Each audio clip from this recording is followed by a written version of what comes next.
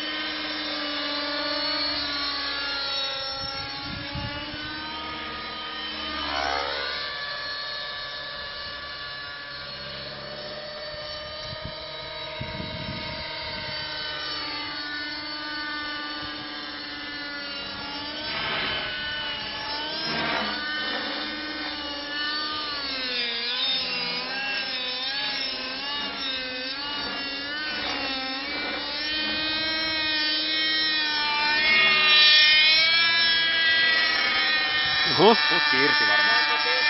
Joo.